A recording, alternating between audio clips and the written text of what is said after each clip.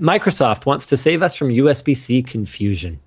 Beginning with Windows 11 24H2, PC makers will need to include a number of previously optional features, including DP Alt mode, which allows you to output DisplayPort over your USB C port, PCIe tunneling, and Thunderbolt compatibility, which are um, basically the ability to run PCIe lanes through your uh, USB C port, and must use Windows' built in USB driver stack in order to be compliant with the Windows Hardware Certification Program, WHCP. The changes are meant to ensure that USB 1, 2, and 3 peripherals will just work for data transfer, charging, and display on any USB C port on certified Windows 11 devices.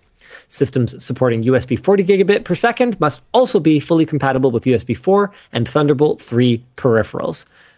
Device makers can make use of Microsoft's MUTT USB test tool and Windows Hardware Lab Kit to ensure their devices comply.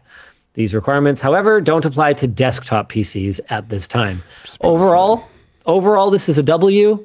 Um, and our discussion question is: What does Microsoft gain by doing this? I get and it. I think I think they gain their computers not being super confusing. Apple computers have their confusion, like oh, this one can support this many displays, and this one can support not as many displays. Like they definitely have their issues, but generally speaking, the hardware for the MacBook is way less confusing to buy than the hardware for a Windows laptop. And I think Microsoft is really starting to look at the share that they've lost to Apple over the years and go, okay, holy crap, no, no, whether it's partnerships with Qualcomm for ARM processors or whether it's you know finding ways to reduce the friction of the Windows PC buying experience, we have got to deal with this.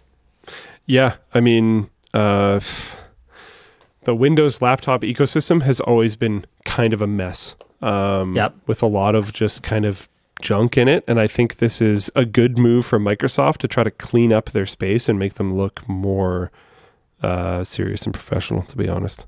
Because USB has been uh, kind of gross for a long time now. Like USB C is uh, just very annoying to deal with. Um, and yeah, I think I think it's a good move, to be honest.